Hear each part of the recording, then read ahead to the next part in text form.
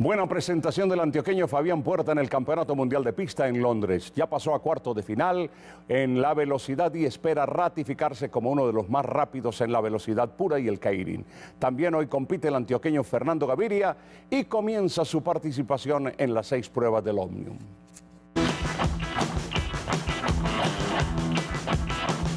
Fabián hizo lo suyo en la pista de Londres, salir, correr y clasificar. Clasifiqué décimo, en los hits de velocidad me sentí, mm, se puede decir que relativamente cómodo, pero, pero íbamos bien, eh, creo que las sensaciones van, van, van, van muy bien.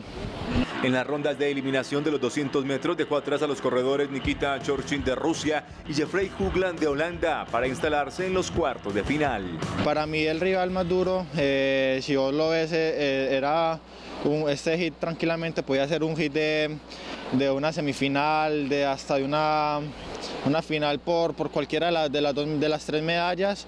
Eh, pues aparte que es un, un gran rival, eh, clasificó tercero, el tiempo que hizo. Eh, fue un hit demasiado duro, pero bueno, creo que corrí muy bien. Puerta volverá a correr mañana. El antioqueño también competirá en el Keirin, su especialidad, con la que pretende confirmar su paso a los Juegos Olímpicos.